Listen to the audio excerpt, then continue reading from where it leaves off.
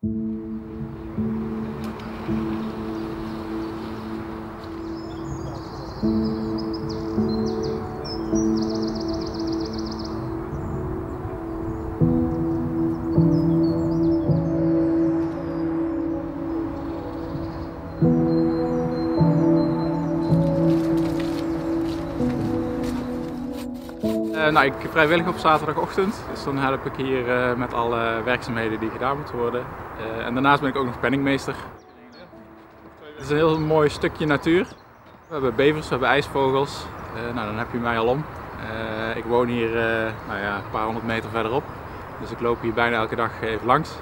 En ja, dan vind ik het leuk om hier lekker te hobbyen, lekker met de handen bezig zijn. Ik zit 40 uur per week achter de laptop. En daarnaast is het gewoon een heel mooi stukje natuur hier midden in, in Den Bosch. Deze eendenkooi die ligt eigenlijk midden in een, in een drukke woonwijk. En is daarmee een beetje een oase geworden. Een oase van stilte en van rust.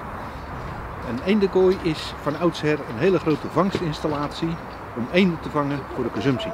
Alleen eh, dat doen wij nu niet meer. Uh, wij willen deze eendenkooi weer zeg maar, in ere herstellen dat er gevangen kan worden. En dan houdt het op.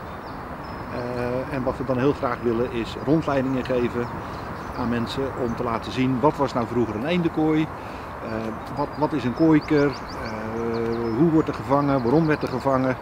Uh, en zo zeg maar het verhaal levend houden van oude eendekooien.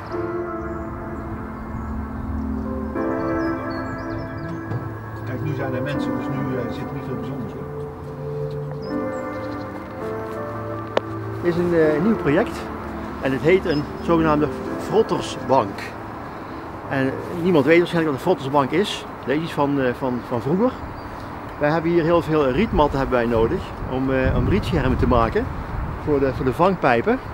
En hier willen wij op ambachtelijke wijze, zoals dat vroeger gebeurde, rietmatten gaan maken.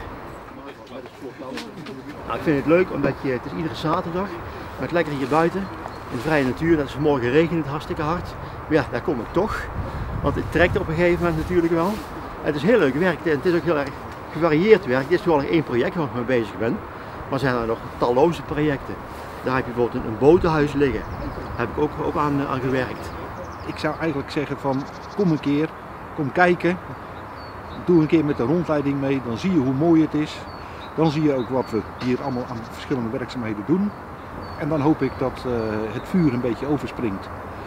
En dat mensen dan ook uh, denken van ja, daar wil ik me ook voor in gaan zetten.